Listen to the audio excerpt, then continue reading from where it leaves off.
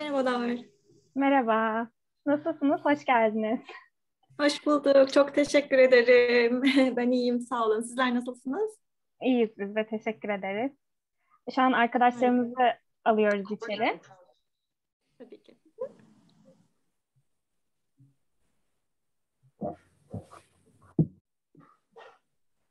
Hoş geldiniz Mine Hanım. Saat Hoş 6'da bulduk. biz arkadaşlarımızı almaya başlayacağız.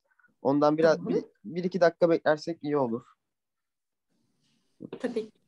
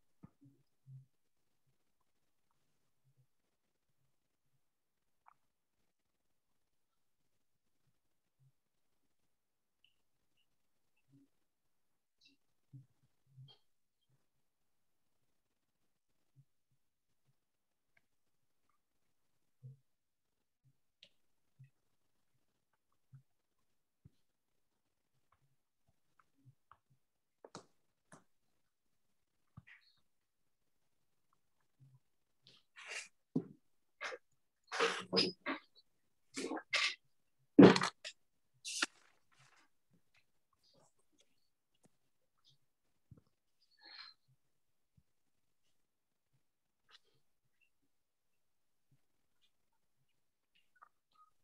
zaman yavaştan başlayalım biz. Ee, merhaba arkadaşlar. Öncelikle hoş geldiniz hepiniz. Ee, bugünkü yayınımızda University College London School of Pharmacy'de akademisyen olarak çalışan e, doçent doktor Mine Orlu ile birlikteyiz. Ee, yayınımız boyunca chatten sorularınızı yazabilirsiniz. En sonunda ben kendilerine ileteceğim. Merhaba Mine Hanım. Öncelikle tekrardan hoş geldiniz. Nasılsınız? Umarım iyisinizdir. Merhabalar e, Selin. Çok iyiyim. Çok teşekkür ederim. Umarım sizler de iyisinizdir hepiniz. E, Nazik davetiniz için çok çok teşekkür ederim. E, Bu yayına katılmak büyük e, onur, keyif benim için. Çok sağ olun. Biz de çok teşekkür ederiz değerli vaktinizi ayırdığınız için. Ee, bize kendinizden bahseder misiniz birazcık?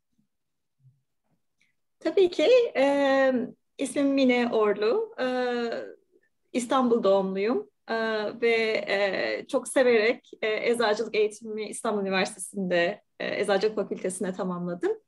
E, 2001 yılında ve daha sonrasında e, master ve doktora çalışmalarımı da İstanbul Üniversitesi Eczacılık Fakültesi'nde yürüttüm ve tamamladım. Daha sonrasında e, buraya e, doktora sonrası araştırmacı olarak e, başvurdum e, ve kabul edildim. E, o zamandan beri de buradayım, Londra'da yaşıyorum e, ve akademisyen olarak çalışıyorum. Ee, eczacılığı severek seçtiğinizi söylediniz. Hani bunun etkilerini anlatabilir misiniz bize birazcık? Yani ne tür hayallerle başlamıştınız eczacılığa? Tabii ki. Ya sağlık bilimleri benim her zaman çok ilgimi çekti. Ee, ama sosyal bilimleri de çok severim bu arada ve hala da hani hem böyle sağlık bilimleri, medikal bilimler hem de sosyal bilimleri bir araya getirici interdisipliner diye tarif ediyorlar ya o tarz türlü çalışmalar da çok çok hoşuma gidiyor. E, ama en başından beri galiba biraz hani ikilemdeydim. E, halkla ilişkiler de mesela okumak çok istiyordum o zaman. E, tekstil mühendisliği vardı listemde hatırlıyorum ama onun haricinde bütün eczacılık fakültesinde yazdım yani İstanbul Üniversitesi'ne ve diğer bir iki üniversiteye Marmara Üniversitesi'nde yazmıştım hatırlıyorum tercihlerini üniversite sınavına gireceğim zaman. Sanırım sağlık bilimlerinin hani insana faydalı olma yönü potansiyel olarak hani ufacık da bir katkımız olsa insan sağlığına yani ne kadar büyük, e, ne kadar kıymetli, ne kadar değerli e, bir e, getiri olur diye düşündüm ben her zaman yani insanlık için. Ee, tabii ki bir meslek edinmeye çalışıyorsunuz ama herhalde sağlık bilimleri sanırım hani direkt e, etki sağlayabileceği için insanların sağlığı üzerine e, o bakımdan e, eczacılık birazcık daha fazla gönlümde yattı diyelim. O yüzden tercihlerimi daha fazla sağlık bilimleri, disiplinleri yönünde kullandım. Dediğim gibi mühendislik dalları da vardı e, seçimimde. Çünkü bizim e, üniversite sınavına girdiğimiz yıllarda işte fen e, ya da Türkçe, matematik vesaire tarzında seçimler e, yapmanız gerekiyordu en başından ya da sosyal bilimler şeklinde.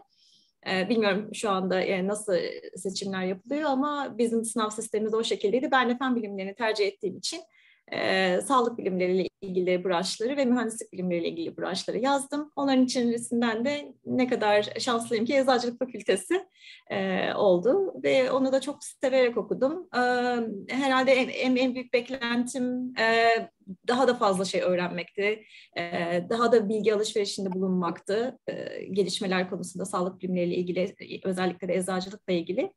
E, o bakımdan da herhalde devam etmek istedim diye düşünüyorum. E, şansım da yaver gitti diyelim. E, akademisyen olarak e, devam ettim mezun olduktan sonra da. Ee, peki bilimle olan ilginiz ne zaman ve nasıl başladı hatırlıyor musunuz acaba? Hmm, e, güzel soru.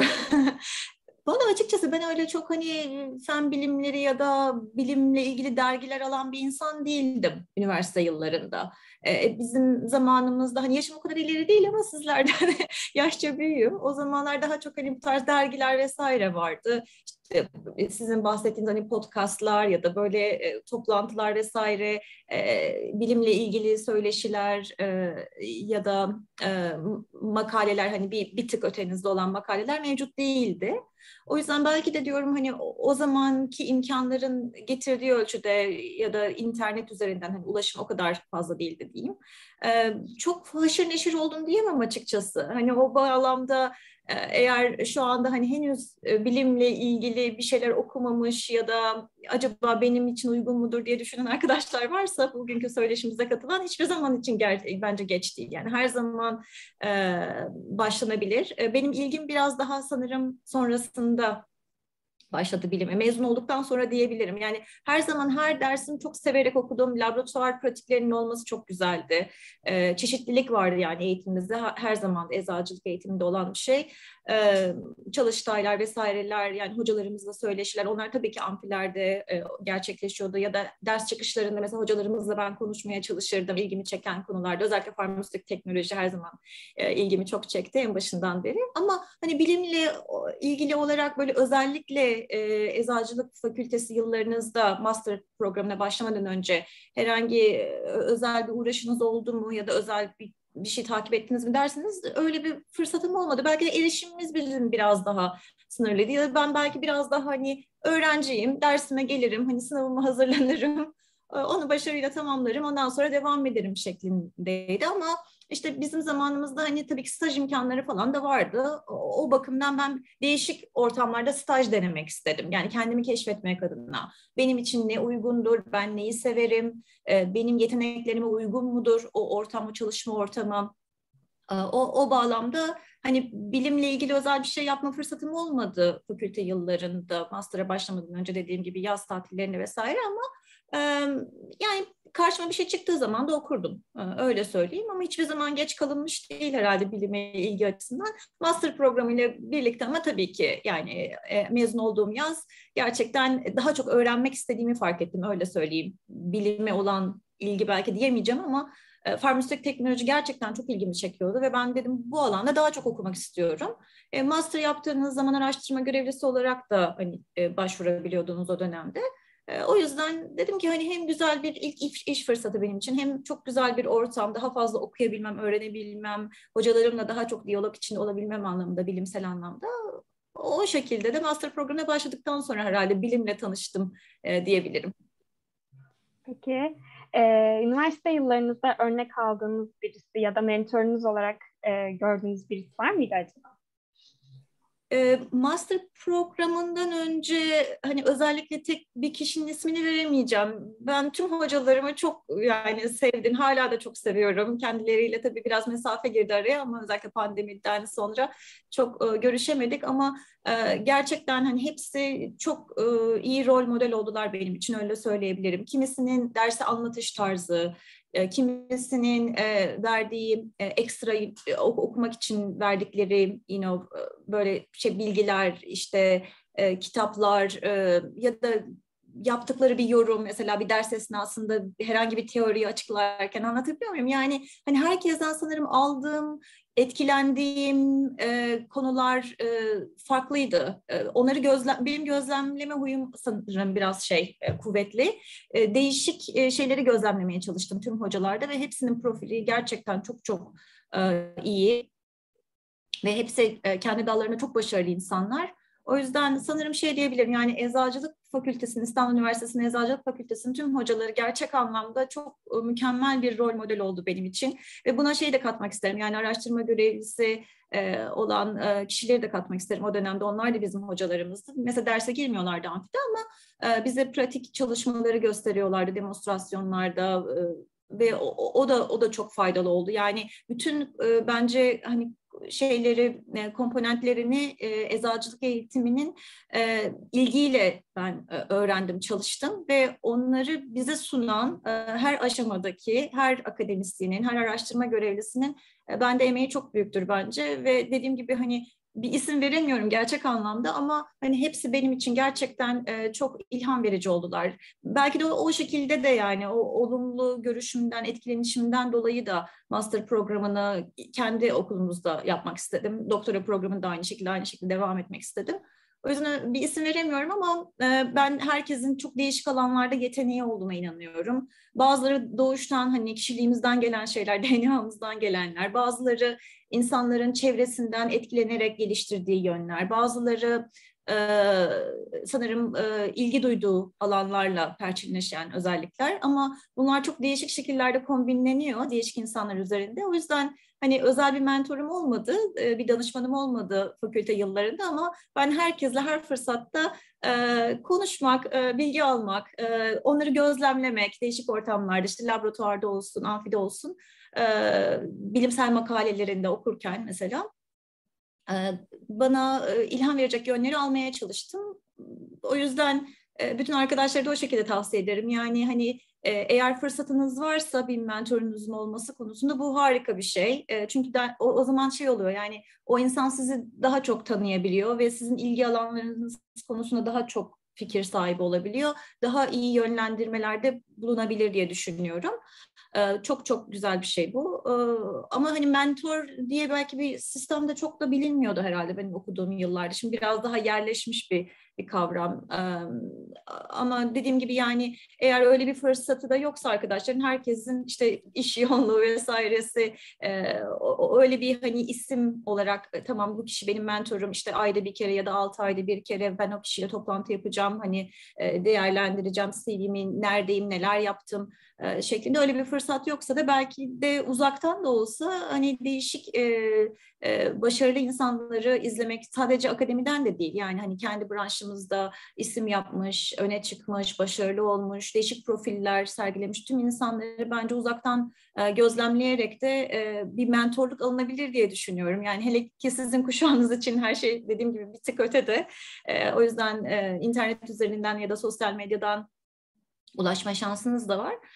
Bu şekilde insanları gözlemleyerek de bence şey olabilir yani olumlu anlamda etkilenebilir ve onları örnek almak ya da dediğim gibi onları belki yollarını takip etmekse eğer faydalı bir, bir şekilde o, o şekilde de ilerlenebilir diye düşünüyorum. Yani hani biraz şey lafı da uzattım ama hani işte ne bileyim bir bahaneye sığınmak kolay bir şey. Yani ben işte üç kişiye yazdım LinkedIn'den ama yoğunlar cevap veremediler. Geri geliyor hani ben de cevap veremiyorum ya da bazen mesela laboratuvarlarda ufak çaplı çalışma yapmak istiyorlar ya da gözlemci olarak gelmek istiyorlar.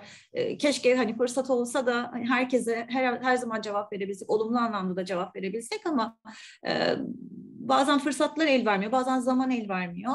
Ee, o yüzden ben hani kimsenin de şey yapmasını istemiyorum, küsmesini istemiyorum. Ben işte şu kişinin benim mentorum olsun istedim e, e, ya da birkaç kişiyle hani e, düzenli olarak görüşmek, onların tecrübelerinden faydalanmak istedim ama fırsat olmadı deyip de kenara çekilmesin kimse. Yani dediğim gibi kaynaklar çok fazla. O biraz bizim herhalde nasıl algıladığımıza bağlı mentorluk kavramına.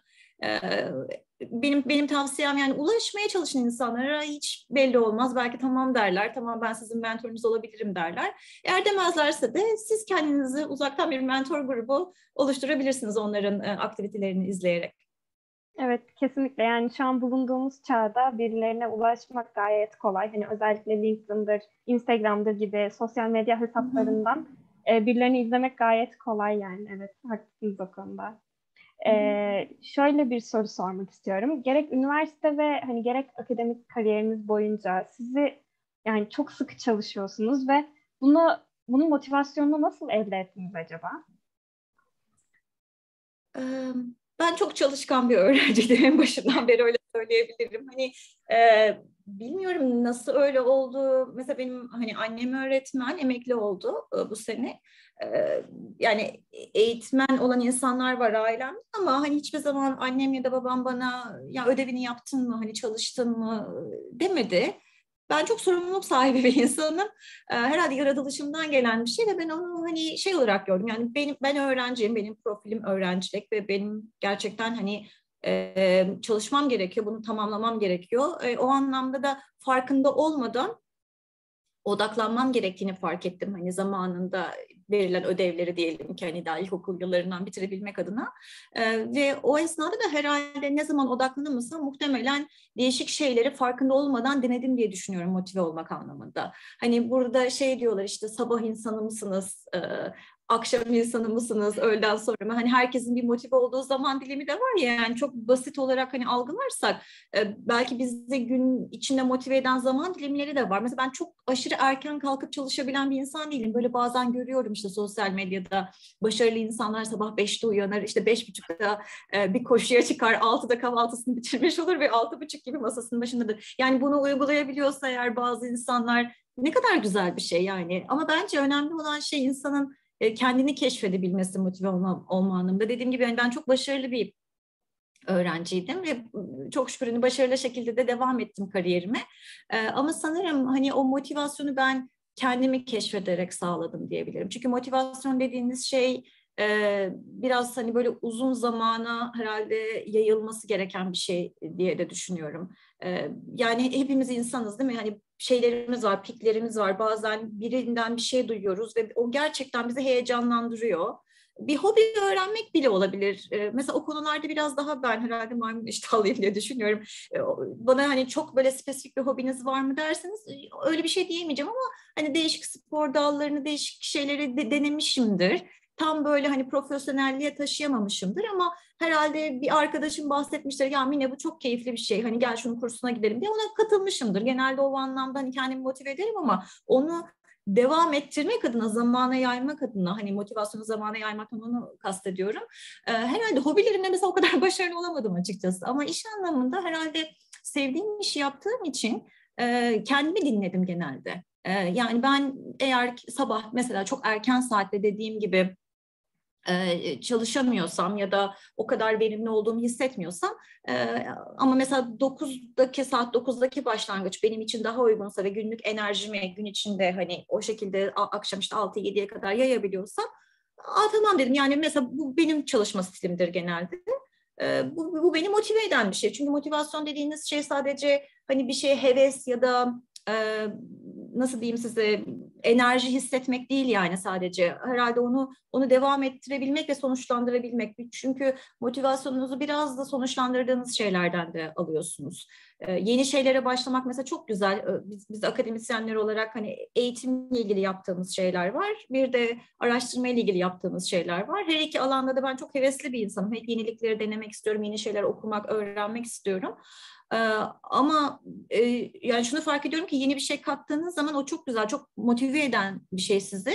Ama bir yayın mesela gönderdiğinizde hani o bitmek üzere olan projenizle ilgili o yayının da kabul edilmesi o da çok motive eden bir şey. O yüzden dediğim gibi hani insanın bir tavsiye edebileceğim şey kendini keşfetmesi. Beni yani kişisel olarak ne motive eder? Bu çalışma saatinden tutun da hani bir haftalık bir tatil midir ya da bir kişiyle konuşmak mıdır, mentorla konuşmak mıdır? Hani önceki konuya değinirsek onu e, bence çok özel bir formülü yok ve insanlar bence birbirlerinden ilham almalılar ne motive ediyor diye ama kendilerini dinlemeliler. Yani bu sizin hani ne yemek sevdiğinizle ilgili olan bir şey. Kimisi hani daha tatlıları sever, kimisi ana yemeği sever, e, kimisi değişik dünya mutfağını sever. Onun gibi bir şey yani bence bu böyle kişiselleştirilmesi gereken bir şey motivasyon e, olayı.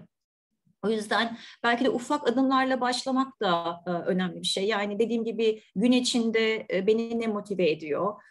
Hangi saatlerde daha efektif çalışabiliyorum? E, sonuca mı odaklıyım yoksa yeni ilham verici fikirlerim odaklıyım ya da her ikisi mi beni motive ediyor? Yani mesela bu sizi şeyde anlamında da besleyebilir. Ee, ya mesela yeni bir şey var mesela sizin e, işte e, dahil olduğunuz e, eğitim hayatınızla alakalı ama direkt hani birebir e, çalıştığınız e, modülle ya da eğitim yine şeyle mesela alakalı olan bir şey olmayabilir. E, müfredat dışında hani yaptığınız şeyler de olabilir eczacılık eğitim hayatınızda. Mesela o sizi motive eden bir şeydir. E, o yeni bir şeydir ve ona devam etmek istersiniz ama öte yandan da sınavınızdan alacağınız işte atıyorum 70 üzerindeki bir mesela belki sınav notu da sizi motive eden bir şeydir. Yani ben biraz şeyle inanıyorum. İnsan dediğim gibi hani kendini dinleyecek ama elle tutulur neler var? Hani ben nasıl dengeleyebilirim? E, getireceğim yeni şeyleri hayatıma motive olmak anlamında ve e, beni gerçekten hani daha kendinden emin kılacak, beni devam edebileceğim şekilde nasıl yani şey hissedebilirim daha e, böyle ayaklarım yere basacak şekilde. Çünkü yani mevcut olan şeylerinizden aldığınız motivasyon diğer konulardaki motivasyonunuzu da besliyor. Mesela ders haricindeki aktivitelere çok yönelindiği zaman bu sefer notların biraz düşmesi ya da atıyorum bütünleme sınavları falan bunlar da de, demotive edici bir şey olabilir diye düşünüyorum. O yüzden hani biraz da gerçekçi yaklaşmak lazım. Dediğim gibi böyle değişiklikler var. Eğer fırsatlar doğuyorsa size ve o yenilikler sizi motive ediyorsa ve diğer hani mevcut yapmanız gereken şeyleri atıyorum sınava hazırlamak bir yani ya da bir, bir ödevinizi hazırlamak eğitimin hayatınızla ilgili eğer o onu da negatif yönde e, etkilemiyorsa ekstra zaman harcamak aksine pozitif yönde etki ediyorsa ne kadar güzel yani her ikisini birlikte yürütebiliyorsanız Belki hani pratik anlamda o, o öyle söyleyebilirim. Kongrelere gitmek, işte ekstra zaman harcamak, e, eczacılıkla ilgili diğer alanlarda staj yapmak vesaire. Bunlar sizi motive ediyorsa çok güzel ama siz kendinizi deneyeceksiniz. Gene o, o aynı şeye geliyorum. Mesela yaz tatili ve yani staj yapmak istiyorsunuz. Bir fırsat var ve üç ay boyunca bu diyelim ki. Ama siz kişisel anlamda dinlenmeye de ihtiyacınız olduğunu düşünüyorsunuz ve belki üç haftalık bir yaz tatili gerçekten hani böyle eczacılıkla ilgili bir şeylerle uğraşmadan e, tam anlamıyla bir tatil de sizi motive edecekse o zaman yine dengeye getirmek gerekiyor. Yani planlamak tabii güzel bir şey. E, üç hafta tatilinizi yapabilir, iki ay stajınızı yapabilirsiniz ve bu herhalde muhteşem bir motivasyon paketi olur bir sonraki eğitim yılına, akademik yıla başlamadan önce. Çok teşekkür ederiz. Ee, üniversite hayatınızda iyi ki yaptım ya da keşke yapsaydım dediğiniz şeyler var mı acaba? Hmm, keşke yapsaydım daha çok hobi sahibi olmak olabilirdi. Dediğim gibi insan hani gençken daha çok enerjisi oluyor herhalde birçok şeyle uğraşmak adına ya da ilgisi olabiliyor. Ee, değişik şeyler denedim ama dediğim gibi özel mesela bazen buradaki arkadaşlarla konuşuyorum. Ee, kimisinin sanatla ilgisi var. Yani gerçekten hani artık profesyonel anlamda değişik şeylerle ilgileniyor. Kimisi bir spor alanında çok başarılı mesela. Onlar da akademisyenler, onlar da eczacılıkla ilgili konularda çalışıyorlar ama herhalde o bir keşkem olabilir. Belki ben biraz fazla derslere gönderdim. O yüzden arkadaşlara tavsiyem sizin şimdi hani uzaktan da erişiminiz var. Birçok yeni şeyi öğrenmeye. Bir hobi edinin. Yani bu çok çok güzel bir şey. Hem insanı motive eden bir şey. Hem de e, CV'niz açısından da güzel. Herhalde muhtemelen birçok mülakatta o soru geliyor. Hani siz boş zamanlarınızda ne yaparsınızdan başlıyor ama o herhalde biraz da işverenlerin o kişinin motivasyonu ölçtükleri bir sistem gibi de geliyor bana. Ben özel sektörde hiç çalışmadım o yüzden çok detaylarını bilemeyeceğim ama bir mutlu olmak adına hani hayattaki enerjinizi korumak adına çok güzel bir şey. Ee, o yüzden illaki vardır hani herkesin ilgisini çeken bir alan. Onu keşfetmeye çalışın. Hani ona da böyle sadece şey işte ben şunu da yapabiliyorum demek için değil de hani gerçekten böyle hafiflemiş hissettiriyorsa size o hobiyi gerçekleştirmek, e, benzer e, ilgi alanlarına sahip insanlarla buluşturuyorsa sizi, e, bence öyle bir zaman ayırmak, bir hobi edinmek adına o, o, o o çok önemli bir şey. O, o benim keşke onu çok ben gerçekleştiremedim. Ben biraz daha hani sadece eğitim odaklıydım. Ee, öyle unut, diğer sorunuz neydi pardon unutamadım. E, iyi ki yaptım. İyi ki yaptım. Ha, iyi ki yaptım. Şey. Ee, iyi ki yaptım bir şey e, hani master'a başladıktan sonra da katarsak eğer biz bölüm olarak değişik kongreler hazırladık. Birçok hocayı, dünyaca ünlü hocayı davet ettik konuşmacı olarak ve o kongrelerin hazırlanmasında rol almak gerçekten çok çok iyi ki dediğim bir şey. Kendime güvenimi arttırdı, insanlarla iletişim becerimi arttırdı, önemli olan bilimsel konular nedir onları keşfetmemi sağladı. Hocalarımla İstanbul Üniversitesi'nin Eczacılık Fakültesi'nde olan hocalarımla daha çok hani değişik alanlarda bilimsel olarak fikir alışverişinde bulunma fırsatı sağladı. E, sunum tekniklerimi geliştirmemi sağladı. E, yani onun hani hazırlanmasında rol almak gerçekten paha biçilemez bir şey. Ben hem çok çok keyif aldım ee, master'a başladığım yıldan itibaren dahil oldum bizim bölümün, farmasötik teknoloji bölümünün hazırladığı kongreleri. Ee, Ahmet Araman hocam önderliğinde birçok kongre hazırladık ve onlarda rol almak gerçekten inanılmaz keyifliydi ve bana çok şey kattı. Ama tabii master projesini yapmak da çok çok değerliydi benim için. O da çok çok iyi ki iyi ki dediğim bir şey. Onun akabinde doktora vesaire hani biraz daha kendiliğinden devam etti diyebilirim ama e, tabii ki her attığım adım bilimsel anlamda İstanbul Üniversitesi'nde hepsi iyi ki benim için. Ee, peki üniversite kalıçlandığında nasıl hani kabul edilme sürecinizi biraz anlatır mısınız bize? Nasıl kabul edildiniz? Ne aşamalardan geçtiniz? Ee, tabii ki ben e, doktoram esnasında e, Avrupa Birliği çerçeve programlarından birinin bursuna başvurdum.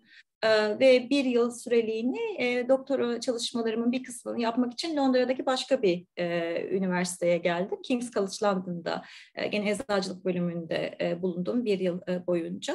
Onun akabinde döndüm, doktora tezimi e, tamamladım, teslim ettim e, ve daha sonrasında e, o zaman bizim üniversitenin ismi University of London şeklinde geçiyordu School of Pharmacy. E, oraya doktora sonrası araştırmacı olarak ilk projeye başvurdum. E, burada bir e, hocamızla çalışmak için. E, ilk etapta öyle doktora sonrası araştırmacı olarak başladı benim buradaki serüvenim. Ee, daha sonrasında o proje sonlandı. Bir diğer doktora sonrası araştırma projesine başvurdum burada. Bunlar hep doktoramı aldıktan sonraki kısımlar.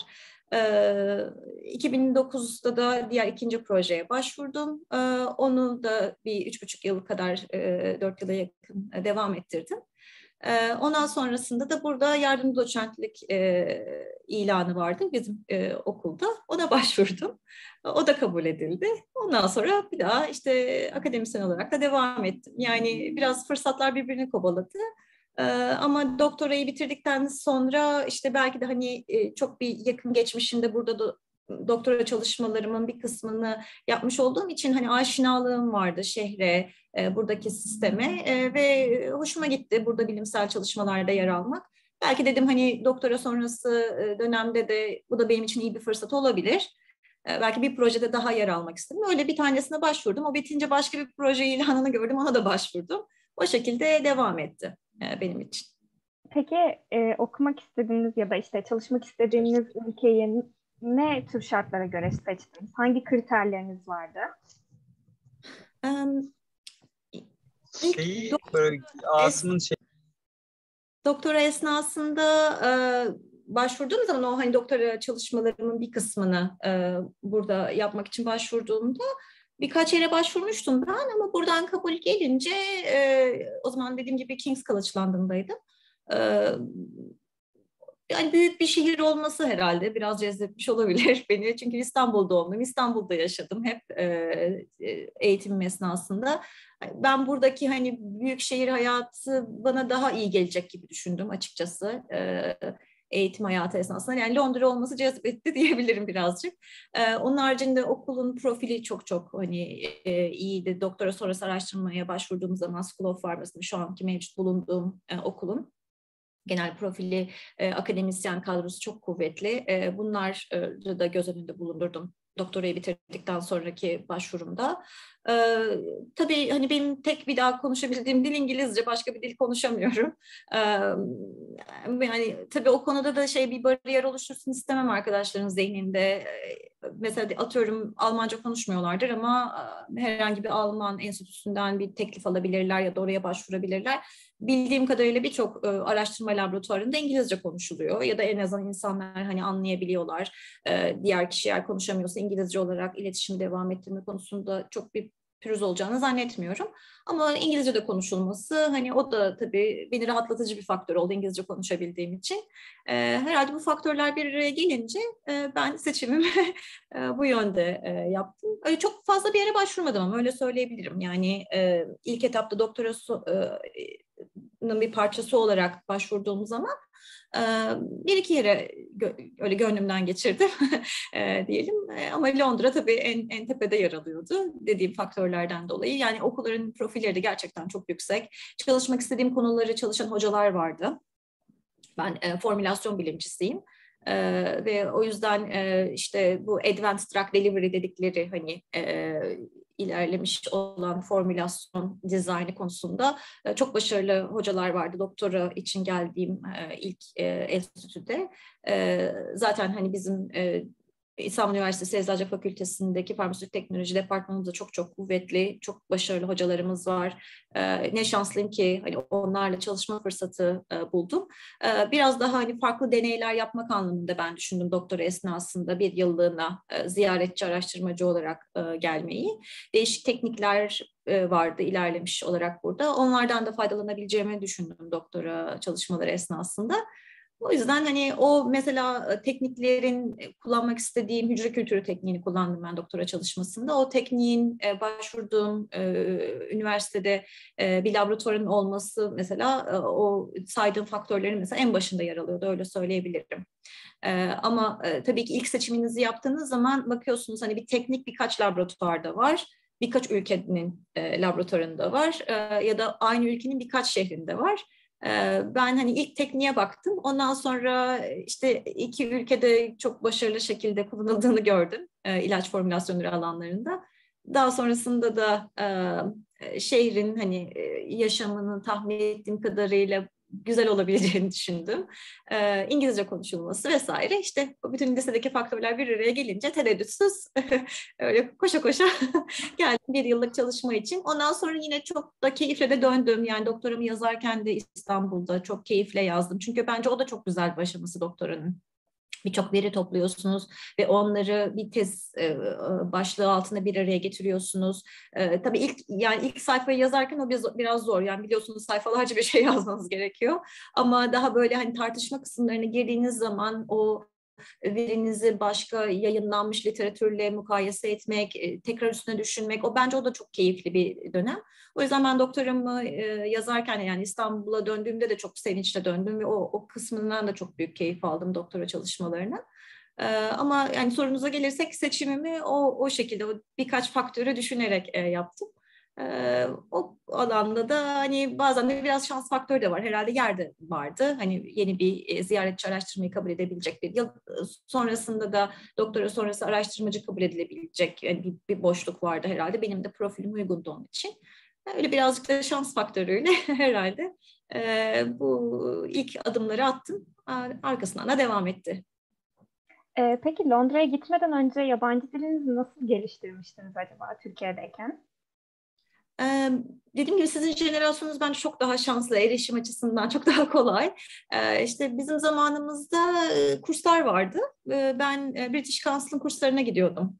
E, üniversite yıllarındayken. Yani bu daha master'a başlamadan önce de e, katıldım. E, işte conversation diye geçen e, konuşma e, kursları vardı. Mesela ben konuşmayı da çok severim, fark etmişsinizdir. E, diyalog kurmayı çok severim. E, biraz hani gramer kısmı daha şey oluyor ya, e, işte kuralları var, testleri var falan. Onu biraz daha şey gibi görüyoruz. Ya benim bu işte IELTS testinden ya da TOEFL'dan geçmem lazım işte şuraya teklif alabilmek için. ilk kural, ilk şart o falan. Hani o kısımları herhalde kimseye çok eğlenceli gelmiyordur ama hani o da bir parçası oluyor tabii. O, o tarz kurslara da gittim. Hani özel bir tek hani sınava girmem gerektiği zaman ama ben diğerine mesela çok keyifle gittim o konuşma kurslarına. Değişik insanlar tanıdım. Böyle kısa süreli birer saatlik, ikişer saatlik hafta arası akşamüstü kurslar vardı British Council'ın. Onlara ben bayağı bir katıldım. Orada bu konuşma kısmını geliştirdim. Biraz da şeyden kaynaklandı. Hani ilk testleri yaptığım zaman şeyi fark ettim. Hani reading, writing kısımları dedikleri hani kısımları biraz daha başarılı şekilde yapabiliyorum ama e, işte speaking'e geldiği zaman biraz daha böyle bir tereddüt ediyordum e, falan. Hani dedim ki pratikle herhalde e, daha ilerletebilirim alacağım toplam puanı. Ama bir de yani dediğim gibi sadece böyle sınav odaklı da gitmedim diğer konuşma kurslarına. Çok e, keyifle e, katıldım. Sadece konuşma üzerine olduğu için hani böyle bir tense işte past perfect tense falan onlardan geçmiyorsunuz yani. Daha çok böyle kelime dağarcığınızı genişletmek adına falan çok faydalı. Ama tabii dediğim gibi yani bizim zamanımızda o kadar yaşım çok ileri değil ama gerçekten o kadar erişim yoktu değişik kaynaklara. Ya da siz mesela belki bir yabancı televizyon kanalına çok daha rahat erişiminiz var. Hani seyrediyor olabilirsiniz. Bizim zamanımızda o kadar fazla değil ya da internet o kadar hızlı değildi. E, o yüzden e, yani o şekilde kurslara katılarak geliştirdim. Lisede de İngilizce eğitim alma şansım olmuştu. Oradan biraz temelim de kuvvetliydi.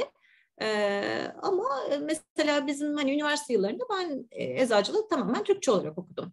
Ee, o yüzden hani hiçbir zaman için bence geç kalınmış değil. Atıyorum mesela hani aramızda eğer son sınıf öğrencisi arkadaşlar varsa dediğim gibi bakabilirler. Hani daha çok hangi alanda İngilizceyi geliştirmeleri gerekiyor? Hani okuma, yazma kısımları mı yoksa dinleme, konuşma kısımları mı?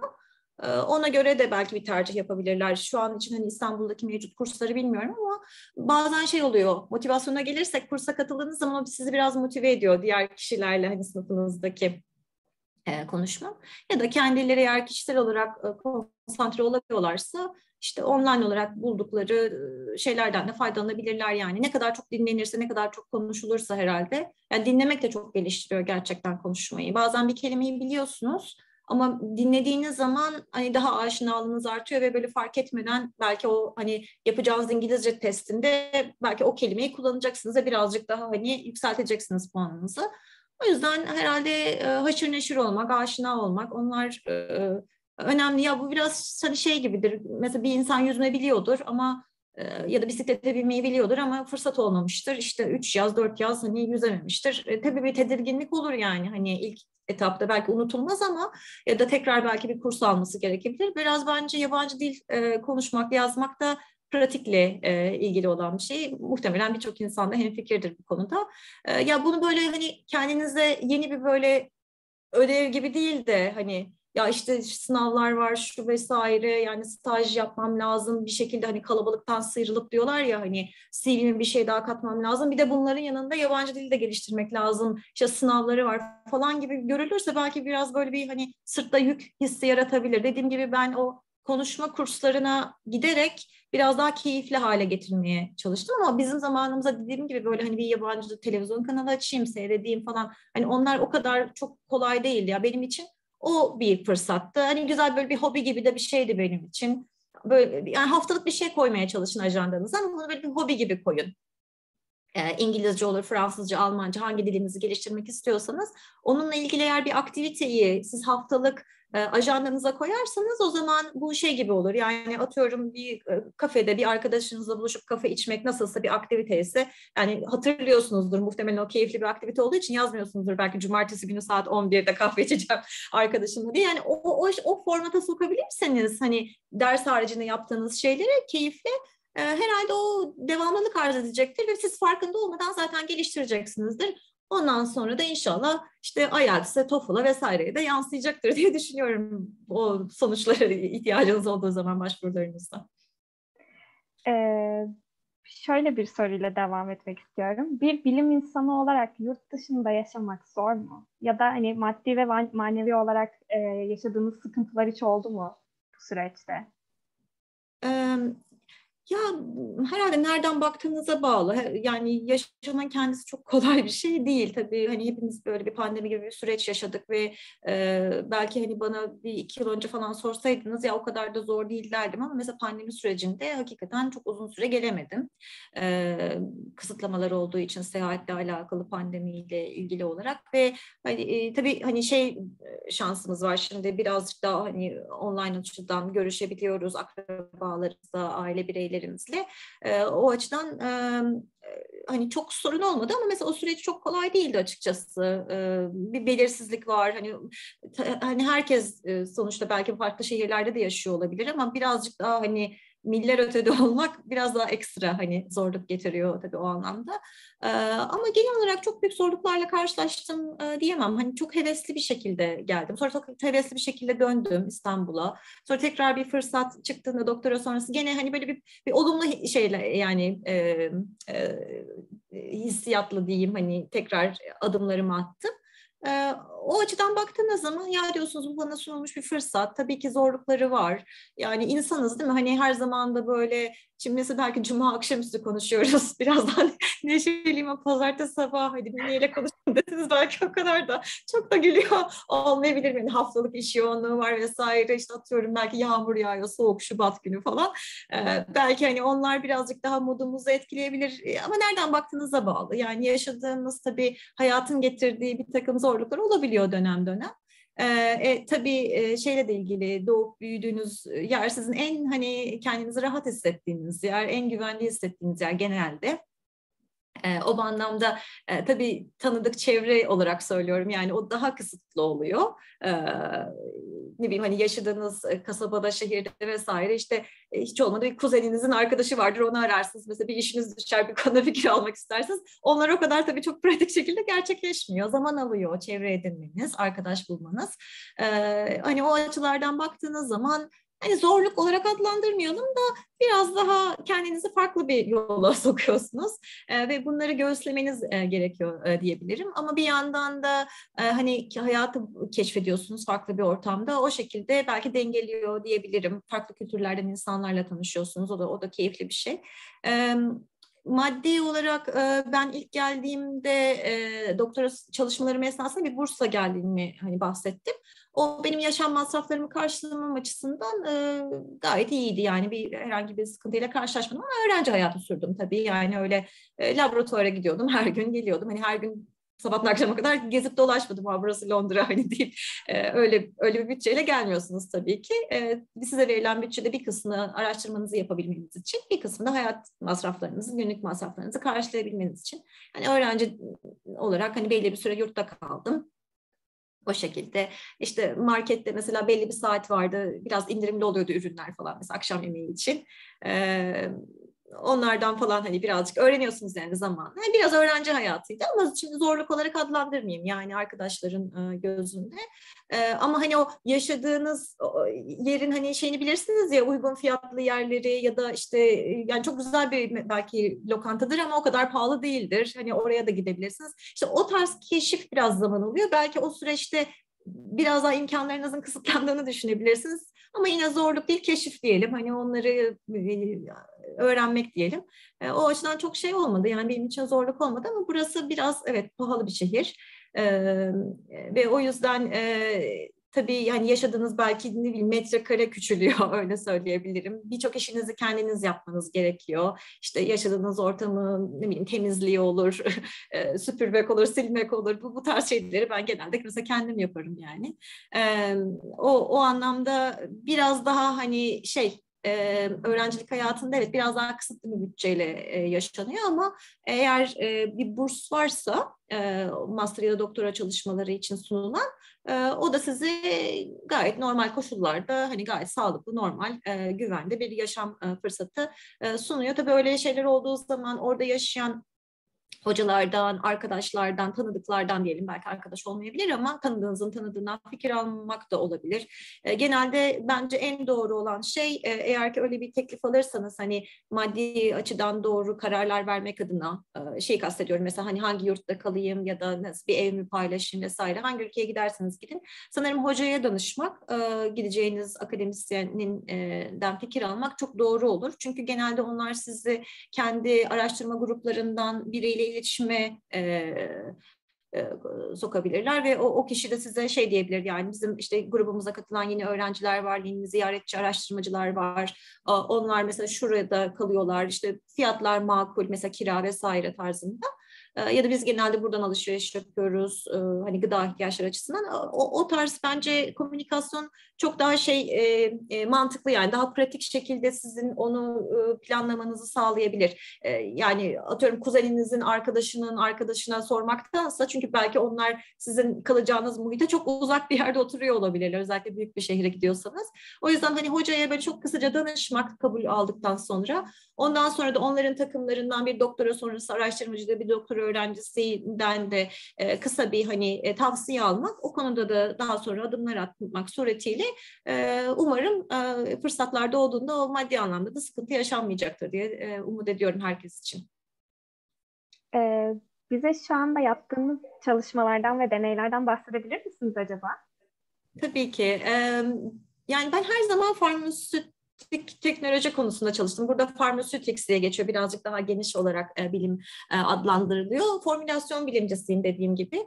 E, ben ilk başladığımda kolonu hedeflendirilmiş sistemlerle ilgili e, çalıştım.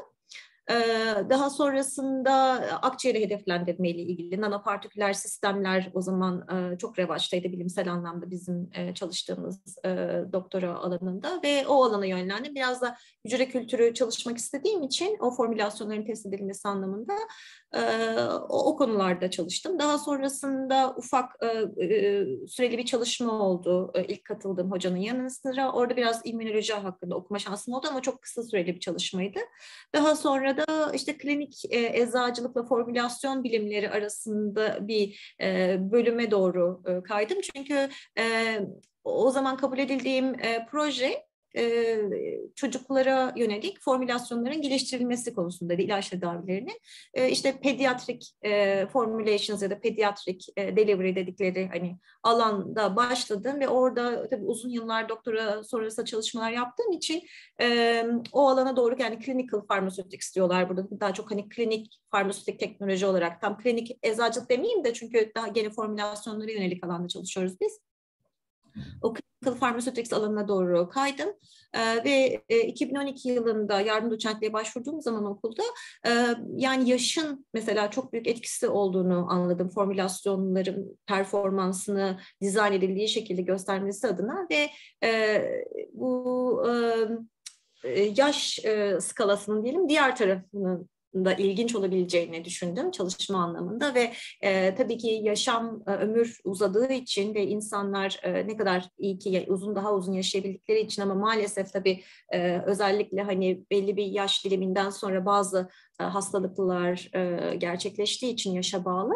E, o alanda da formülasyonların performansının nasıl olabileceğini bayağı merak ettim. Yani hani biz çünkü farkındaysınız siz de hem laboratuvar pratiklerinden hem derslerinizden öğreniyorsunuzdur. Hani tabii eğitim yılınıza bağlı olarak biz genelde hani ilaç molekülüyle ilgili düşünmeye başlarız. Hani bu suda çözünür mü, molekül ağırlığı nedir vesaire. Ondan sonra biraz daha onun e, nasıl e, bir şekilde e, dizayn edilmesi gerektiğini düşünüyoruz. İşte excipient dediğimiz hani diğer formülasyonunuza katı, katacağınız maddeler arkasından hangi teknolojiyle ben bunu üretebilirim diye düşünmeye başlarsınız. Sonra kalite kontrol aşamasına gelirsiniz. Hani bu düşünce silsilesinde her zaman tabii ki tedavi etmeyi düşündüğünüz e, hastalık e, grubu ya da hasta profilini de düşünürsünüz ama bir teknolog olarak biraz daha diğer alana ister istemez yoğunlaşırsınız. O yüzden ben e, diğer ilk doktora sonrası araştırmalarımı yaptığım zaman şeyi fark ettim. Yani aslında hani hasta profilinin de formülasyon dizaynına çok çok önceden katılması gerekiyor. Çünkü biraz geç kalınmış olunuyor.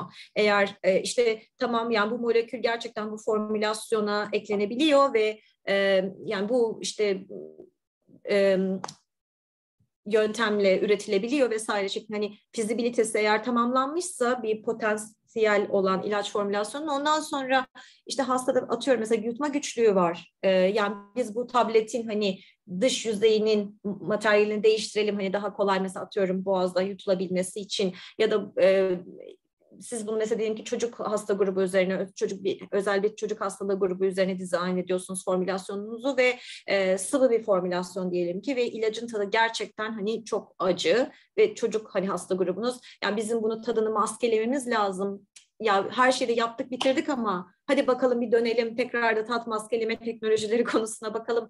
Eğer derseniz hani o biraz tabii e, şimdi hani işin büyük çaptaki e, gelişimine de bakarsanız e, klinik çalışmaya o formülasyonunuzun geçmesini geciktirebilir. O yüzden e, benim hani ilk doktora sonrası çalışmalara başladığım zaman o pediatrik alanda e, şeyi fark ettim. Yani formülasyon bilimi çok çok önemli ve hasta profilinin de o formülasyon dizaynına entegre edilmesi, onun düşünülmesi erken aşamada çok çok önemli. O yüzden yaştı hani benim ilk karşıma çıkan fırsat benim benim projemde yani erken yaş ya da çocuk yaşı nasıl e, formülasyonun dizayn edilmesini etki edebilir şeklinde.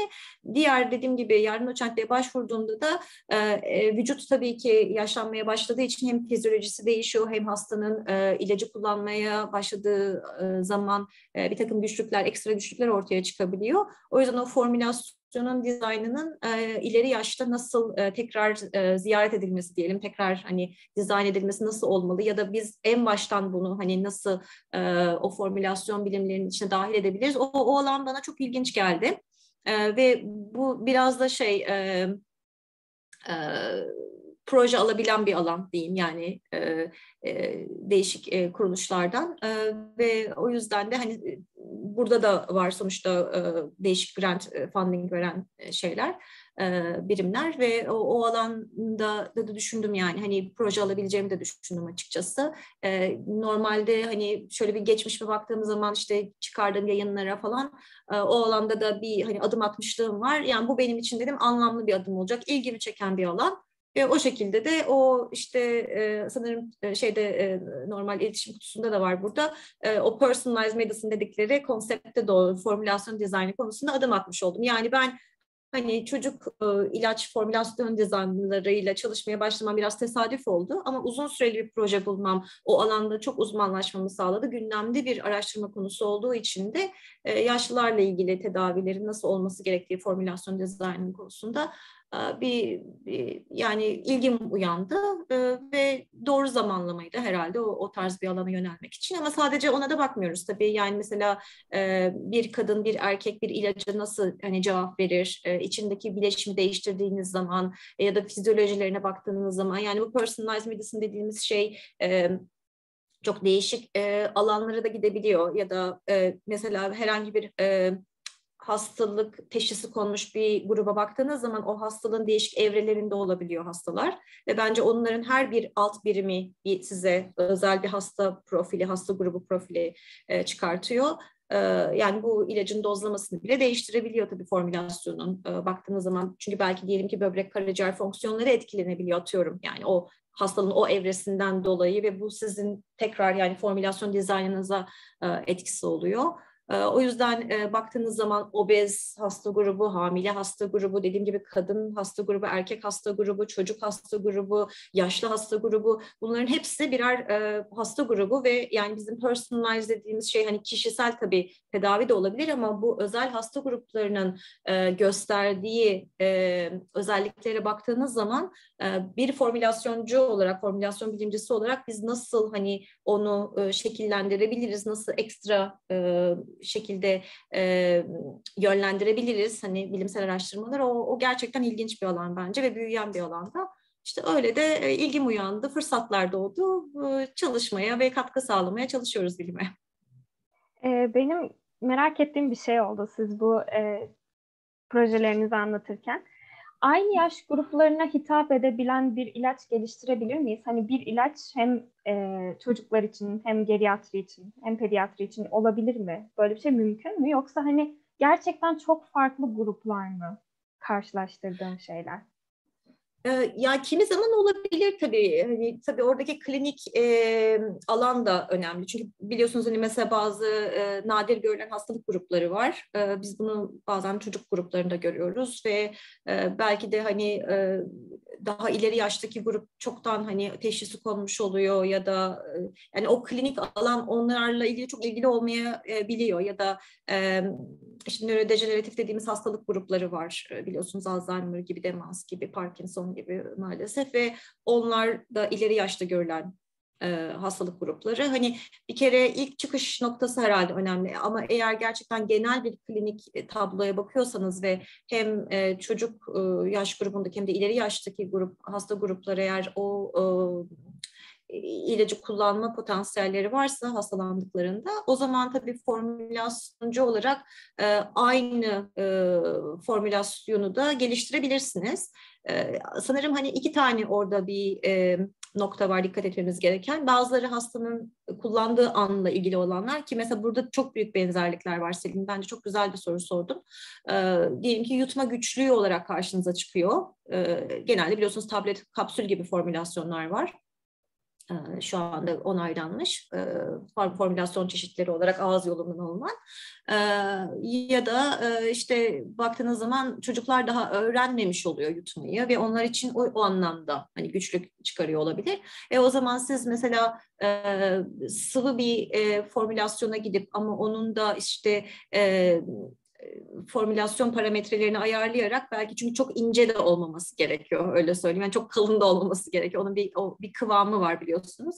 Yani çok basit dille anlatmak gerekirse e, onunla ilgili çalışmalar yapıp uygun eksipiyanları seçip uygun e, teknolojilerle birleştirip yapabilirsiniz. Yani hastanın kullanımıyla ilgili onların e, zorluk yaşamaması adına doğru ilacı kullanması adına çünkü ne oluyor? Mesela eğer hasta güçlük yaşarsa maalesef işte uzun salınımlı bir tablet maalesef kırılabiliyor yani, yani kırılmaması gerektiği halde bu çok çok tehlikeli sonuçlar doğurabiliyor ee, ya da işte kapsülün açılması bir yemekle karıştırılması kapsülün hani açılmaması e, gereken durumlarda e, maalesef yani orada hekimin görmediği ya da eczacının görmediği e, modifikasyonlara, hasta grupları yaşadıkları güçlüklerden dolayı gidebiliyor ve bu da çok ciddi tehlikeli e, durumlar ortaya çıkartabiliyor. O yüzden formülasyon bilimleri çok önemli. Yani hastanın doğru kullanmaya teşvik edebilecek, doğru kullanmasını sağlayacak e, şekilde dizayn edilmesi lazım. Yani yutma güçlüklerini mesela ya da yutmadaki problemi o şekilde söyleyebilirim. O anlamda belki formülasyon dizaynınızı her iki hasta grubuna da hitap edecek şekilde dizayn edebilirsiniz. E, işte medication errors diyorlar yani o bütün e, ilaçlarla ilgili hataların yaşanmaması adına. Çünkü çok dediğim gibi tehlikeli sonuçlar doğurabiliyor. E, bunları engelleyebiliriz formülasyon bilimlerinde çalışarak olarak ama fizyolojik açıdan baktığınız zaman değişik hasta gruplarına mesela e, atıyorum e, bir enzim eğer e, yani o ilacın metabolizmasında önemliyse ve o enzime baktığınız zaman belki o enzim yani hala hazırda gelişmekte olan vücutta organizmada, bedende çocukta farklı bir profilde olabilir ama hasta grubuna baktığınız zaman tamamen yaşa bağlı hastalık yüzünden belki o enzimde bir bozukluk var. Ve siz yani ilacınızın hani e, farmakokinetik anlamda nasıl bir profil göstereceği yönünde eğer aynı dizaynı zorlarsanız hani hem çocuk grubuna hem de ileri yaşlı grubuna o mesela fizyolojik anlamdaki değişikliklerin aynı formülasyonla cevaplandırılması biraz daha güç olabilir öyle söyleyeyim. Ya da mesela en basitinden ne yapıyoruz? Uzun salınımlı ilaçlarda pH'ya duyarlı polimerlerle kaplıyoruz değil mi? Formülasyonun uzun e, salınımlı olması. Çok basit hani örnekler vermeye çalışıyorum. E şimdi siz normalde gastrointestinal sistemin e, pH'sına baktığınız zaman çok böyle hani çok küçük yaştaki çocukları, bebekleri kastediyorum ya da çok ileri yaştaki hasta gruplarını bahsediyorum. Bir tanesi yaşından dolayı, diğeri de yaşadığı belki diğer e, işte mide bağırsak sistemiyle ilgili e, rahatsızlıklardan dolayı ya da diğer hastalıklarından dolayı çok farklı bir pH profili gösterebilir. E, o zaman sizin orada seçeceğiniz polimer işte tabletinizi nasıl kaplayacağınız vesaire e, hem çocuğa hani fizyolojisindeki değişikliklere ya da e, metabolizmasına hitap etsin ya da diğerine dersiniz hani o anlamda e, ne kadar spesifik düşündüğünüze e, bağlı. Hasta grubunuzu bence çok çok iyi tanımanız gerekiyor. Mesela paketleme açısından da hani e, e, bir bakıma yani çok çok güvenilir olması lazım. Yani çocuğun açamaması lazım e, ilacın paketini. Yani o anlamda da teknolojinin en uç noktasını da düşünürseniz eğer hani çok mikro anlamda baktık ama çok makro anlamda da bakarsanız e, orada da belki romatizmal rahatsızlıkları var ileri hasta grubunun ve açmakta zorlanıyor. Nasıl yapılacağını bildiği halde e, yani biliyor işte şu aşamaları izlemeliyim ya da mesela bir inhaler kullanımı falan belki daha da hani e, farklı bir boyut kazanabilir. E, hastaya hitap etmesi ve hastayı doğru kullanmaya teşvik etmek anlamında. E, ama en basitinden yani bir şişeyi ya da bir bilister e, örnek alırsak ileri yaştaki hasta grubu bilebilir hani doğru kullanımını ama romatizmal rahatsızlıkları yüzünden belki eklem rahatsızlıkları yüzünden zorlanabilir. Ama çocuk da tam olarak eğitimini almadı ve bilemediği için e, tabii ki onun da açamaması gerekiyor. Yani orada tabii anne babanın, e, bakıcının, e, bilgilendirilen kişinin, e, sorumlu olan kişinin açması gerekiyor. O yüzden bir paketini bile düşündüğünüz zaman e, ilacın e, orada farklı formülasyon stratejileri gerekebiliyor. Çünkü mesela ilacın hani paketi de bir formülasyon bir parçası değil mi? O yüzden e, hani bazen çok basite de indirgeseniz e, hani formülasyon bilimleri açısından çok daha hani dediğim gibi e, komplike de düşünseniz e, alanlar var. Aynı formülasyonlarla değişik hasta gruplarına hitap edebileceğimiz e, ama çok böyle uç eğer hasta gruplarını düşünürseniz yaş olarak genelde farklı e, formülasyon stratejileri e, belirlemeniz gerekiyor. Tamam, çok teşekkür ederim. Ee, benim soracağım sorular bu kadardı. Şimdi chatten e, birkaç tane soru gelmiş. Onları okuyayım sizlere. E, mezuniyet sonrası yurt dışında akademik alanda ilerlemek için üniversite yıllarımızı nasıl değerlendirmeliyiz? Ne gibi çalışmalar veya projeler bize katkı sağlar demiş. Sorunun diğerini sonra okuyayım. Diğer kısmını. Hı hı. Dediğim gibi herhalde üniversite yıllarında hani ders saatleriniz dışında yapacağınız her türlü eczacılıkla, e, eczacılık bilimleriyle ilgili e, diyeyim daha doğrusu, eczacılık bilimleriyle yapacağınız tüm aktivitelere eğer ilginiz varsa e, bence çok çok faydalı olacaktır. Yani bunları da böyle hani şey yapmamak lazım. İşte belki çok bilinen bir şey değil ama size katkı sağlayacağını düşünüyorsunuz. Siz, sizin kendi kişisel profesyonel gelişiminiz açısından. O anlamda yani bence hiçbir şey yapmamaktansa bir şeyler yapmak, bir şeylerle uğraşmak çok faydalı olur. E, illa her şey için bir kursa yazılmak, para vermek gerekmiyor. Dediğim gibi birçok şeye ulaşabilirsiniz artık e, e, internet üzerinden. E, orada bence şey zamanın doğru kullanılması önemli. Çünkü dediğim gibi o motivasyonu da doğru kullanmak gerekiyor. Şimdi sizin jenerasyonun da bence çok fazla fırsatı var. Ne kadar güzel. Ama acaba siz enerjinizi doğru yöne kanalize ediyor musunuz? O çok önemli.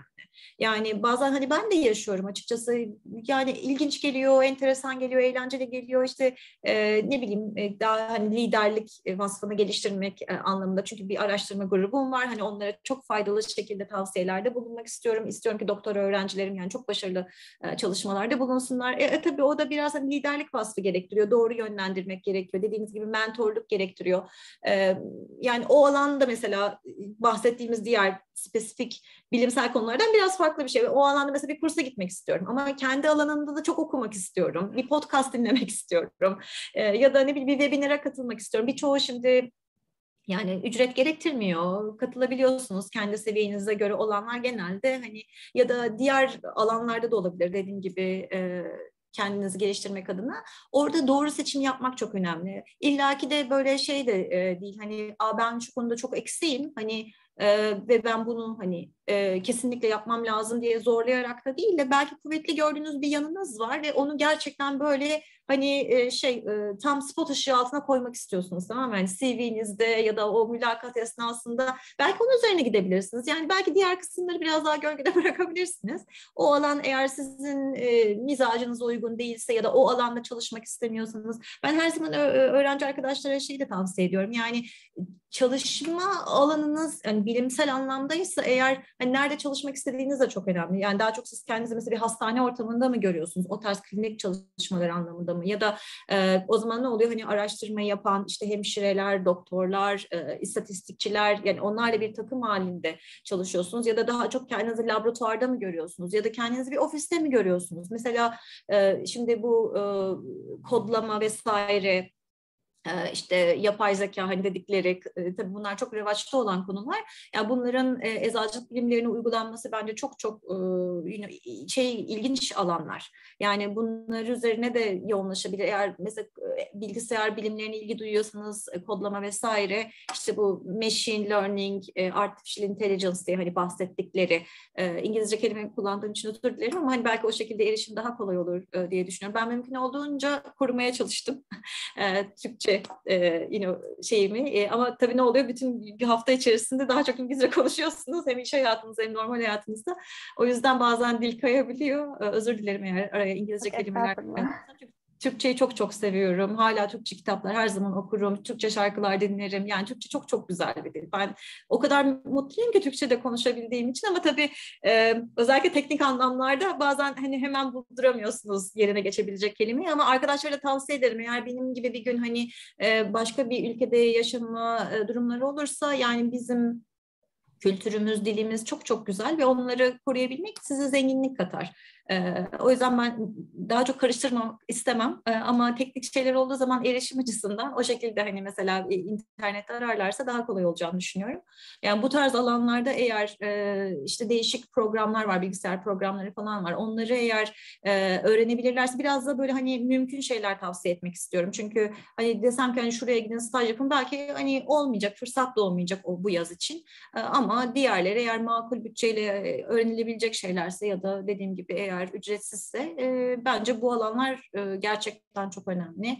E, bu alanlarda kendilerine bir eğer e, yetenek edinebilirlerse bir de üstüne çok güzel eczacılık e, diploması ile birlikte bence harika olur. E, ben hani biraz daha farmasötik teknolojiye yakın konulardan örnek gösteriyorum. E, eminim ki hocalarınızla konuştuğunuz zaman diğer kürsülerden de farmakolojiden olsun, farmasötik kimyadan olsun, diğer bütün e, ana bilim dallarından olsun onlar da size çok faydalı tavsiyelerde bulunacaklardır kendi branşlarıyla ilgili olarak. Ee, ama yani üniversite yıllarında ben kendim dediğim gibi işte İngilizcemi geliştirmeye çalıştım. Ee, bulduğum kaynaklardan değişik şeyler okumaya çalıştım. Staj yapmaya çalıştım e, değişik ortamlarda. O yüzden bulabildiğiniz bence her fırsatı değerlendirin. E, ama enerjinizi de doğru yerde kullanın. Yani şimdi 10 tane şeyde yapmak e, zor. Hani bir herkesin bir e, şey olması lazım, bir profili olması lazım. E, ve o anlamda da işte ben 6 tane hobim var, e, işte 100 tane takipçim var ben kodlamayı da yapabiliyorum ama organik kimyada da yani şu alanın en tarafında biliyor, en uç kısmında biliyorum. Yani hani anlatabiliyor muyum? En derinlemesine yani bu, da bir kere insanı yorar herhalde. O kadar da yani robot değiliz sonuçta insanız. Ee, e, bir anlamda da bence hani çok böyle şey yapmadan hani daraltmadan tabii ki o vizyonu ama belli bir şeyde çerçevede de tutarak birbirine hani e, şey yapacak, yardım edecek alanlarda yetenekler geliştirmek çok doğru olur diye düşünüyorum. Atıyorum yani eğer siz gerçekten okuyorsanız bu AI konusunda ya da machine learning konusunda ufak adımlarla kodlamayı vesaireyi öğrenerek bilgisayar programlarını boş zamanlarınızda bence CV'ye harika bir ekleme yaparsınız. Ondan sonra da o alanda eğer tabii ki ilginiz varsa bunu yapın. Yani bu sadece gündemde olduğu için de bir şeyi öğrenmeyin. Mesela herkes İngilizcesini geliştirmeye çalışıyor diye İngilizce geliştirmek zorunda değilsiniz. Anlaşacak kadar İngilizceniz olur ama bir enstitü vardır atıyorum Fransa'da ve siz oraya gitmek istiyorsunuzdur. Çünkü kendi alanlarında çok ileridirler. O zaman ne yaparsınız? Biraz da Fransızca öğrenmeye çalışırsınız. Yani illa da hani herkes her şeyi yapıyor diye yapmaya gerek yok. Siz kendi profilinizi belirleyin ve ona yönelik akıllı adımlar atmaya çalışın. E, bence üniversite yıllarında e, kendinizi geliştirmek adına ve keyif aldığınız şeyler yapın. Biraz da zorlayarak da olmuyor. Yani hani sevmiyorsanız sevmiyorsunuzdur normal. Herkesin mizacına her şey uygun değil yani.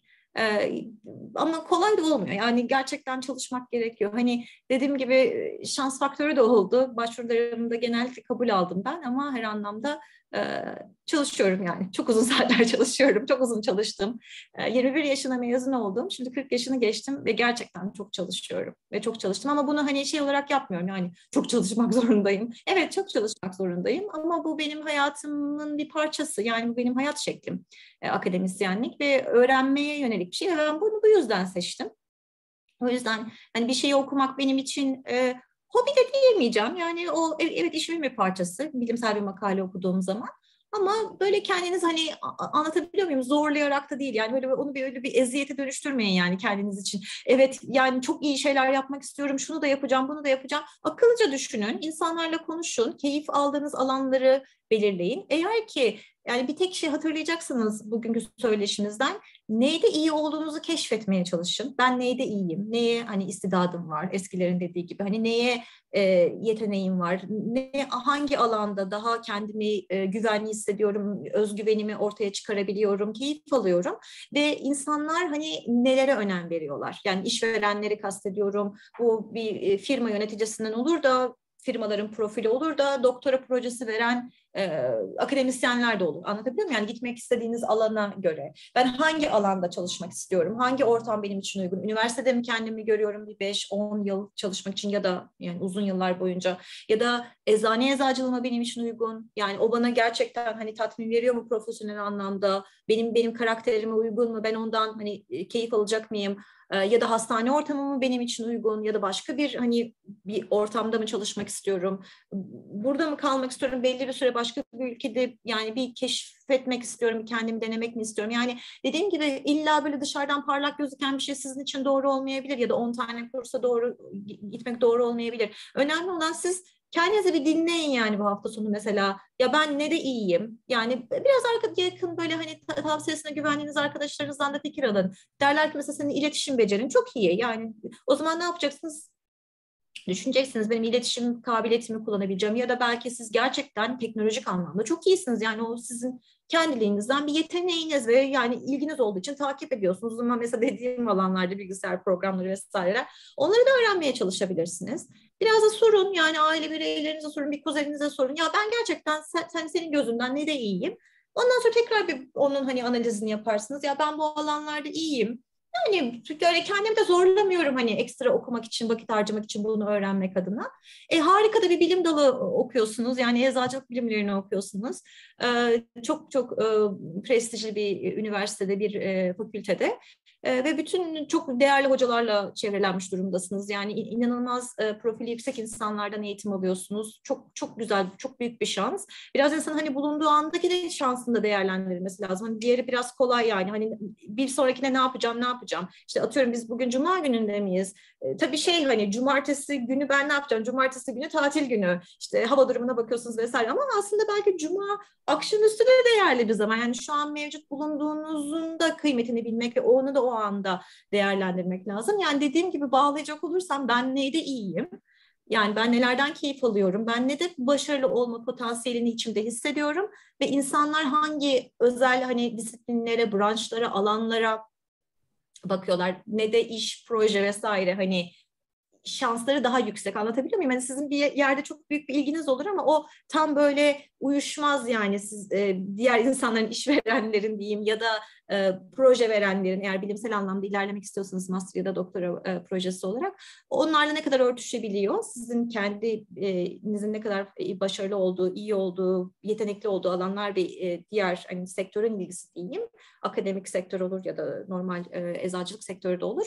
Onları eğer birleştirebilirseniz siz kendi zaten muhteşem e, profilinizi çizmiş olacaksınız ve doğru adımları atacağınıza inanıyorum akabinde de. Yani hayattan keyif almak lazım. Bu bizim hayatımızın bir parçası. Burada şey diyorlar. Yani eğer ki e, şimdi tabii o enerji biraz azalıyor zamanla onu söyleyeyim. E, belli bir yaşa geldiğinizde yani her sabah diyorlar o hani yataktan fırlayıp o enerjiyi bulabilecek bir şeyiniz varsa ve yaptığınız günlük hani haftalık işlerde belki altı tane iş yapıyorsunuzdur. Hani mesela ben size haftalık hayatımı tarif edersem işte ders de veriyorum amfide. Ee, bir bilimsel makalenin yazılmasına da katkıda bulunuyorum. Yeni bir proje de yazmaya çalışıyorum. Öğrencilerimle de konuşuyorum. Ee, sınav kağıdı da okuyorum. Hani not vermem gerekiyor. Belki o olsaydım hani o kadar diğerleri kadar beni heyecanlandıran bir şey olmayabilir ama o içimin bir parçası. Ama ben bu saydığım 6-7 şeyden e, eğer ki 4-5 tanesi benim yani hani o pazartesi günü tekrar enerjiyi bulup tekrar işime konsantre olup o motivasyonumu geri getirip e, profesyonel anlamda devam etmemi sağlıyorsa o zaman demek ki ben doğru bir şeyler yapıyorum. E, insanlara da inşallah hani uzun vadede faydamız olabilecekse bilimsel çalışmalarla tabii bu, bu da harika bir şey olur diye diye düşünüyorum. O yüzden siz kendinizi yani kişisel anlamda başkalarıyla asla ve asla mukayese etmeden kendi kişisel analizinizi yaparak e, dediğim anlamda e, ve diğer e, konuları da e, gündeminize tutarak hepsini birleştirebilirseniz dediğim gibi ben hepinizin çok e, parlak, harika e, bir kariyeri olacağını e, düşünüyorum. Yani bugün buraya katılmanız değil mi? Cuma akşamüstü vaktinizi ayırmanız o da bence güzel bir işaret. Demek ki profesyonel anlamda gelişmeye karşı çok açıksınız ve bu yönde hevesiniz var ve kendinizi kutlamalısınız. Yani evet yani ben bugün buraya katıldım. Umarım bir, bir parçada olsa hani ben motive etmişimdir sizi değişik alanlara bakma anlamında, kendi kişisel profesyonel hayatınızı geliştirme anlamında. Tabii ki şu an öğrencisiniz ama zaman çok hızlı ilerliyor. O yüzden çok doğru sorular soruyorsunuz. Eğer dediğim gibi doğru seçenekleri tıklarsanız kendinizi geliştirmek anlamında öğrencilik yıllarınızda eminim size geri dönüşü muhteşem olacaktır. Çok teşekkür ederiz değerli tavsiyeleriniz için. Ee, sorunun devamıyla devam yani sorunun devamıyla devam edeyim. Ee, siz şu anda çalıştığınız yerde lisans seviyesindeki veya hemen mezuniyet sonrasındaki öğrencilere çalışmalarınızı staj şeklinde dahil ediyor musunuz diye bir soru gelmiş. Şimdi e, lisans seviyesinde e, son sınıfta kendilerinin e, her bir öğrencinin kendi projesi oluyor. E, son master projesi şeklinde isimlendiriliyor. Onlar zaten hani kendi eğitimlerinin parçası olarak bir projede yer alıyorlar son e, eğitim yıllarında. E, fakülteden mezun olmadan önce. Ee, onun haricinde master e, programı var. Ee, ben e, birka, birkaç tane master programı var burada şu an çalıştığım okulun. Ben onlardan bir tanesinin program direktörüyüm ee, ve ona başvurmak gerekiyor. Yani bu bizim hani kendi mevcut öğrencilerimize verdiğimiz bir şey değil. Bu daha çok da e, açıkçası diğer ülkelerden e, olan öğrenciler daha çok başvuruyorlar master programına. E, master programı bir başvuru e, gerektiriyor. Doktora da aynı şekilde eğer direkt hani doktora başlamak isterlerse o şekilde oluyor. Ziyaretçi araştırmacı olarak da yazıları e, evet yani hem benim hani kendi araştırma grubuma hem de diğer akademisyen arkadaşlar kendi araştırma gruplarına öğrencileri zaman zaman kabul ediyorlar. Biraz pandemi sebebiyle pek olmadı. Çünkü hani yaz dönemleri daha uygun diye tahmin ediyorum sizler için bu tarz e, projelerde yer almak için e, gözlemci olabilir, hani ziyaretçi araştırmacı olabilir e, bir iki aylığına. E, o şekilde tabii ki hani öğrenciler e, bizleri ziyaret ettiler. E, ufak ufak umarım başlayacak e, tekrar. E, şu anda kabul eden e, akademisyen arkadaşlar da var. E, o yüzden hani eğer ilginizi çeken bir alan varsa e, hem benim çalıştığım hani üniversite bölümden olur hem diğer üniversitelerden bölümlerden olur. E, biraz biraz hani laboratuvarlara ziyaretçi araştırmacı kabul edilmeye başlandı. E, mevcut olan bir iki kişi de var. E, o yüzden o kişilere e, böyle kısa bir dille hani yazarsanız ben şu tarihler arasında şöyle müsaitim ve çok ilgi duyuyorum hani bu alana bir projede yer almak isterim e, şeklinde. Eğer hani e, bir bursunuz varsa onu yazabilirsiniz ya da bir Erasmus programı bünyesinde mesela atıyorum gelmek gibi bir fırsatınız varsa. Hani bunların biraz araştırmasını yapıp böyle birkaç satırlık bir kısa bir e-mail eğer yerleştirirseniz hani belki hemen o gün değil de birkaç gün içerisinde umarım bütün arkadaşlar döneceklerdir. Yani bu mesela olumsuz anlamda bile olsa o bir iletişim becerisidir, yeteneğidir. Onu geliştirmiş olursunuz. Yani master ve doktora programları benim şu an çalıştığım okulda başvuruyu gerektiriyor. Ziyaretçi araştırmacı olarak da arkadaşlar dediğim gibi laboratuvarlarında eğer müsaitlik varsa çünkü biraz da hani öyle bir durum da var bazı yaz dönemleri biraz yoğun oluyor. E, mesela atıyorum e, dört tane doktor öğrencisi var ve bunların üçü doktora tezlerini yazıyor olabilirler o yaz. O zaman ne oluyor? Hani laboratuvarda biraz daha banko olarak vesaire yer oluyor.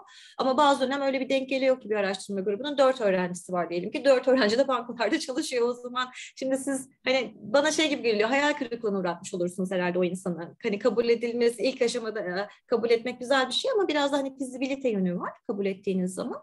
O yüzden e, grupların dönem dönem cevapları e, değişiyor olabilir. E, o tarz ziyaretçi araştırmacı yönündeki kabulleri konusunda. Kişisel algılamayın lütfen ne olur.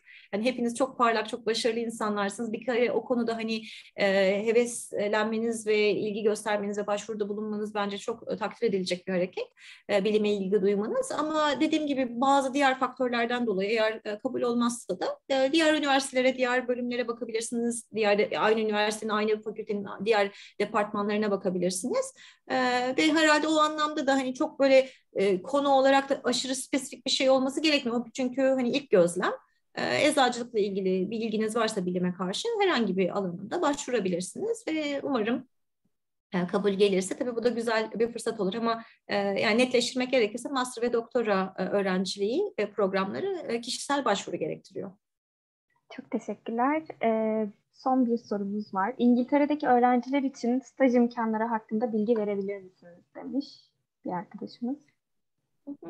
Yine yine onların da e, yani kişisel başvurularını gerektiriyor öyle söyleyeyim. Mesela buradaki lisans öğrencileri de eğer yazın e, diyelim ki bir e, ilaç firmasında staj yapmak isterlerse kendileri başvurmaları gerekiyor. Ya da bir e, e, e eczanede staj yapmak isterlerse yine kendileri başvurmaları e, gerekiyor.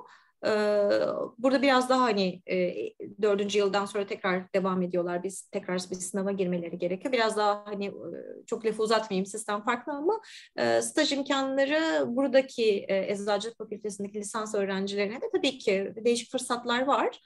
Ama sanırım biraz staj hani öğrencinin kendi motivasyonuyla hani yürüyen, başlayan daha doğrusu bir şey diyeyim. Böyle on kapı birden çalmak da gerekmiyor ama hani tek bir kapıda çaldığınız zaman o da işte dediğim tamamen sizden bağımsız sebeplerden dolayı kabul almıyorsa yani küsmemek lazım kişisel algılamamak lazım. Ee, dediğim gibi eğer ki belki e, değişik şekillerde, değişik kanallardan hani değişik kişilere ulaşmaya çalışırsanız umarım birinden biri e, kabul edilecektir. E, en doğru zamanda kabul edilecektir. Ben hani ona da inanırım. Bazen siz dersiniz ki illa bu hani bu yıl olsun istiyorum ama belki ikinci sınıf öğrencisinizdir. Üçüncü sınıfta olur. O zaman bilgi birikiminiz daha fazla olur eğitimde ilerlediğiniz için. Belki daha çok fayda sağlarsınız o staj imkanında. Yani buradaki öğrenciler içinde, öğrenciler içinde özür dilerim şey var, staj imkanları tabii ki var. Ama biliyorum ki yani eczacılık eğitim yoğun bir eğitim. O yüzden ilk etapta tabii ki eğitimi başarıyla ve zamanında tamamlamak önemli. Tabii staj imkanları doğarsa da ne kadar güzel. Mine Hanım çok teşekkür ederiz bize vaktinizi ayırdığınız için. Ee, sizin gibi değerli hocaların bize vakit ayırması gerçekten bizi çok memnun ediyor. Ee, son olarak bir fotoğraf çekimi alabilir miyiz acaba? Arkadaşlar isteyenler e, kameralarını açabilirler. Ben bekleyeceğim. Onlar kameralarını açarken ben de fırsatı değerlendireyim. E, Selin çok teşekkür ederim e, iletişimin e, yönünde. Ama tabii ki katılan e, tüm arkadaşlara da çok teşekkür ederim. E, Yedi kıtada bilim bence çok güzel bir fikir. Bir parçası olduysam ne kadar mutlu bana eğer faydalı tavsiyelerde bulunabilirsem. Tabii dediğim gibi bunlar naçizane. Hani benim kendi tecrübelerimden kaynaklanan e, tavsiyeler genel olarak. Kimisi size uyar, kimisi uymaz. E, ama gerçekten böyle pırıl pırıl insanlar, bilimle ilgili insanlarla bir saat 20 dakika falan olmuş sanırım. geçirmek, zaman geçirmek benim için eşsiz güzel bir şey. O yüzden çok çok teşekkür ederim. Çok da duygulandım. Yani Tabii yıllar geçti benim mezuniyetim üstünden ama o kadar gurur duyuyorum ki İstanbul Üniversitesi Eczacılık Fakültesi mezunu olduğum için. Ee, sizin gibi genç arkadaşların şu anda eğitim aldığını görmek, bu kadar hevesli olduğunu görmek, bu kadar parlak profillere sahip olduğunu görmek inanılmaz gurur verici. Çok duygulandım gerçekten. Ee, o yüzden çok çok teşekkür ediyorum davetiniz için ve sonsuz başarılar diliyorum hepinize canı gönülden. Ee, dediğim gibi yolunuz açık olsun. İnşallah bilimsel alanda ilgi duyan arkadaşlar da en güzel kendileri için en doğru fırsatları en doğru zamanlarda yakalarlar. Ee, ve e, umarım sizlerle kişisel olarak da e, yani belki üniversiteye ziyaret ettiğimde bir gün görüşme, tanışma şansımız da olur. Umarım. Belki yine böyle bir şey düzenleriz söyleşi. Belki amfide daha hani daha kolay olur e, bu söyleşileri düzenlemek. E, tekrar umarım görüşme fırsatımız olur. E, ve ben ya, yani gerçekten hepinize çok teşekkür ediyorum davetiniz için ve e, sonsuz başarılar diliyorum e, eğitimli hayatınızda. Çok teşekkür ederiz. E, ben bir fotoğraf alayım.